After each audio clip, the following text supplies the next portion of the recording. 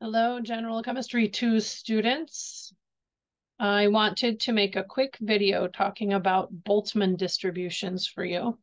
I'm assuming that you have studied microstates and the Boltzmann equation prior to looking at this video. So either reading lecture notes and taking some notes from those, reading the textbook and taking notes from that, or possibly watching my videos and taking notes from that.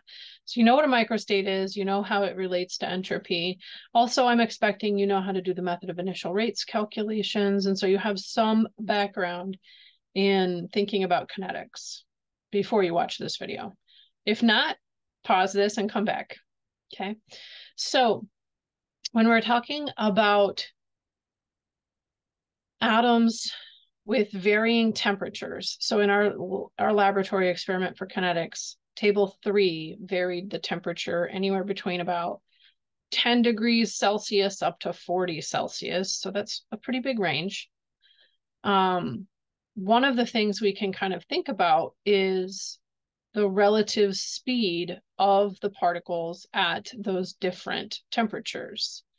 Um, the best way to think about this is to visualize um, using a graph. So we're going to create one that's called a Boltzmann distribution. All right, so in a Boltzmann distribution, our graph is going to compare the population of atoms or the probability of atoms, we could even think of it, being in a particular speed. And so speed is the comparison on this axis. And that could be measured in a variety of different units. Meters per second is pretty common. For our purposes, we didn't measure the speed of the atoms, but um, remember that increasing temperature increases the speed of an atom, which is why it usually will increase the rate, unless, of course, the reaction is zero order for that chemical. But if things are moving faster, they will collide more often. And so if it's bigger than zero order, increasing temperature has an impact. Um,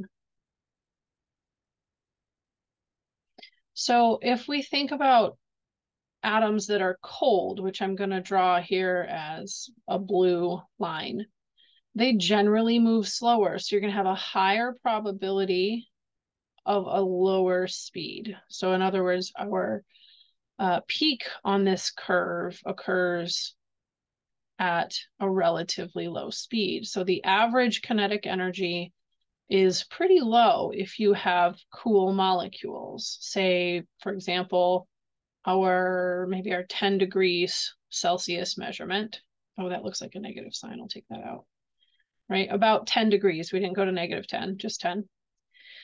On the other hand, if we thought about, say, our 40 degrees Celsius sample, what's going to happen is the number of particles stays the same, right? We're not changing um, amounts of anything. But what changes is the fact that more of them on average will be moving faster. So our probability sort of squishes down a little bit. Because when you increase temperature, you actually end up with a wider variety of microstates. You have more choices for what energy level particles can have when you increase the temperature. So it looks like the number of particles has decreased here because the, the height of the peak has decreased, but that's not the case. What is happening is the same number of particles are distributing a, among more speed options, okay? However, we can see that the average um, kinetic energy, the average speed here increased when we have a hotter material. Okay, and so your job is to sketch something like this. You might consider adding all the actual temperatures that we measured in and just, you're not actually calculating anything, but you can sketch what a Boltzmann distribution might look like for the four measurements we did at a variety of temperatures. The main idea being that as you increase the temperature, the probability of an atom in a particular state goes down, but the number of options for your speed increases. And so overall, speed increases for most particles. Not all of them, right? You still have some in this region, that are slow. Okay. Whether the liquid is hot or cold, there's always going to be some proportion of particles that are slower. But we have a much bigger proportion of particles that are faster. Okay, and that's what a Boltzmann distribution communicates.